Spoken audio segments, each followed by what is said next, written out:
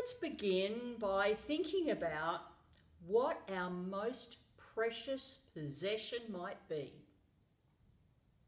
Perhaps it's our health, our family and friends, our faith, or even could it be tangible things like our house or our photos or even some special items that remind us of happy times or special achievements? Perhaps an old hand tool that belonged to our granddad or our first pair of motorcycle leathers.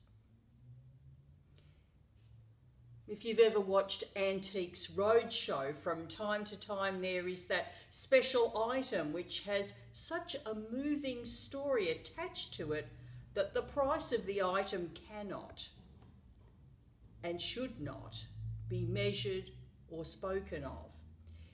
It is a priceless treasure. As the object is honoured, the joy of the owner is such that we see their emotions well up and given expression, often with tears. Usually, the presenter is also deeply moved as they gently forego the usual giving of the valuation. A priceless treasure is imbued with meaning a meaning that brings joy, great and profound joy. Well, this week I have been conducting a bit of a survey to find the voice of the people, asking them what is their most precious possession? And a follow up question what would they give to have that most precious of all things? The first er, answer from most people this week has been a desire for freedom from the coronavirus. I think we're all wishing and praying that things could go back to normal and that the virus would just go away or be eradicated. One person I spoke to said that they just couldn't think of anything that was so precious that they would be prepared to give up everything that they had to possess it. After giving this man a bit more time to think, he said, and he said rather sadly, I just wouldn't know what to do with it if I had it. A young man with children declared boldly that he would give his own life for his children. And a young woman said that she would give anything that the, that the world might find enlightenment and live in peace and harmony. And she went on to say that if she had the power, she'd send a beam of light into everyone's hearts so it could cleanse them of all hate and fear and pain and remorse. And she went on and on and on about it so that the world might experience freedom, peace, and love. Well, to me, that sounded a lot like what Jesus, the light of the world, does for us when he is welcomed into our hearts. But I don't think that's what she had in mind. Let's now venture into the deep water of this question for ourselves. What is it that we're searching for? What is it that we would just give up everything to possess? The answers might be difficult to embrace. If we could have our heart's desire, or do we even know what that is? Perhaps it's our health, happiness for our children, or release from pain. Perhaps it's freedom, or peace, or love, or salvation, or to see God. Our heart's desire as Christians is to grow closer and closer to God, to experience an ever deepening sense of God's love for us, and to know His salvation salvation that brings profound and liberating freedom to the human heart. the kingdom of heaven. And after all, that is what these parables of Jesus are pointing to. The kingdom of heaven is bigger than this pandemic.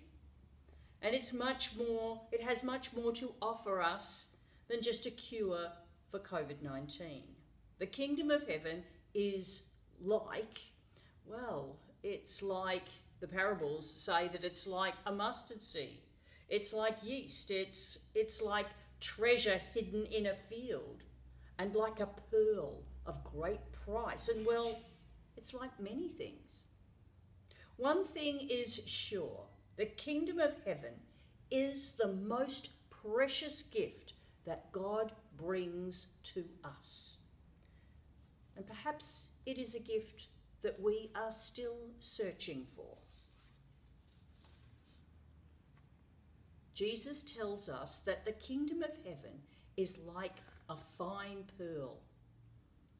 So precious, so valuable, that all we can do when we find it is to surrender all our worldliness, all our possessions, and all that we are to it. In these parables that begin, the kingdom of heaven is like, the parable of the pearl of great price is different because the merchant is seeking, he is seeking the fine pearl. He knows what is his heart's desire, and when he finds it, nothing will stop him from achieving his goal. Our desire, our work, and our strivings for the kingdom of heaven are all the more significant because we know that the kingdom of heaven is near. Sometimes people do stumble upon the kingdom of heaven Instead, we know that we are what we're looking for. We know what the kingdom of heaven is like. We search and we wait, knowing that the kingdom of heaven will bring us great joy and great peace. The kingdom of heaven, well, it's not some random event or accident, it has come near. It has been revealed to us in God's Son, Jesus. how shocking it is to read at the end of chapter 13 of Matthew's Gospel that Jesus is rejected by the people who know him best. Our relationships with friends and family are very precious. And what a terrible thing it is to read in today's Gospel that Jesus' own friends and his family, the people that he grew up with in Nazareth, would not accept him they took offence to him. It would seem that the world has taken offence to Jesus. His name is better known as a swear word than as the name of the one who can shine his pure white light into our hearts and bring us peace. All the difficulties of today's world, the great morass of hardship and distress and persecution, famine, nakedness, peril and violence. Well, it is nothing, says St. Paul, compared to what God has in store for us. In the kingdom of God, all these sufferings, they don't amount to much because, as St. Paul puts it, all things work together for good for those who love God.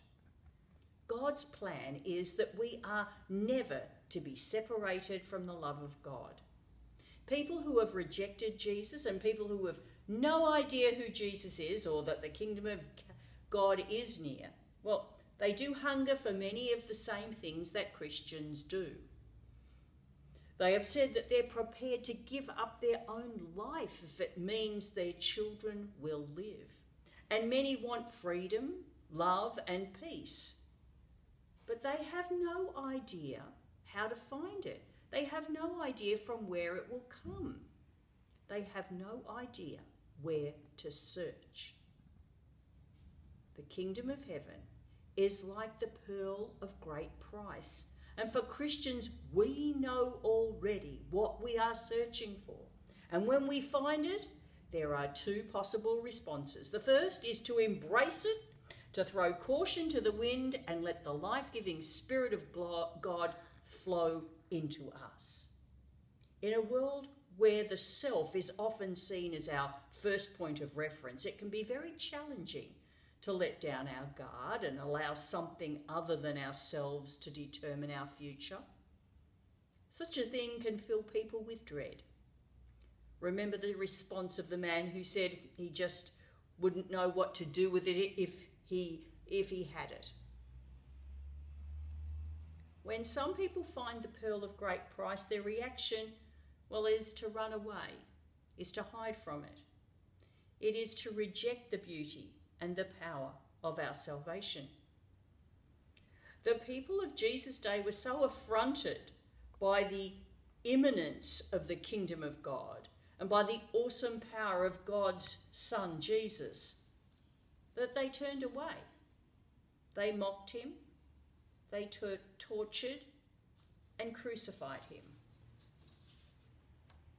When we find the kingdom of God breaking in on our lives, the challenge is to give up all we have so as to possess it. On a global scale, we are in search of that which God has planned for creation from its very beginning. We are part of those who are working for the coming of the kingdom of God. Our prayer is, Thy kingdom come, Thy will be done on earth as it is in heaven. Our prayer is supported by the intercession of the Holy Spirit. Our prayer is supported by the intercession of Jesus Christ, who died, yes, who was raised, who is at the right hand of God. It is He who intercedes for us. So let us pray. Dearest Lord, we pray that you might show us where to find our heart's desire. Guide us in the right path to find with you all that you have promised us. Help us when we go searching in the wrong place and call us back to you. And let us never forget the precious gift that is your Son, Jesus Christ. Amen.